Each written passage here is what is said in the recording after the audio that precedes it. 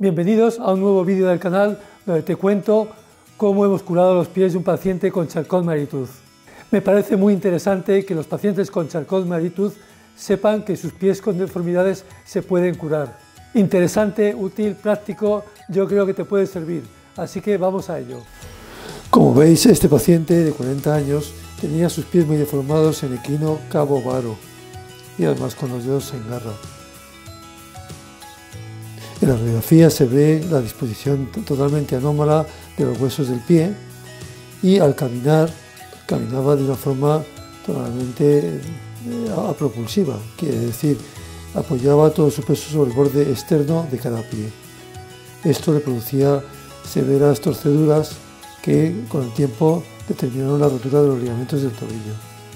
Una vez operado, le hemos reconstruido los pies y los tobillos alineándolos correctamente, dándoles estabilidad, pero preservando siempre la movilidad de los tobillos. Además, hemos transferido tendones al dorso del pie para que los pueda mover.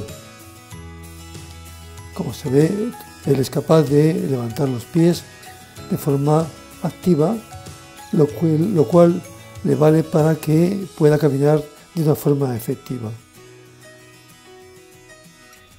El alineamiento ahora es completo y sus pies son absolutamente plantígrados. Nunca más volverá a tener problemas a la hora de caminar y sus pies se mantendrán corregidos durante toda su vida.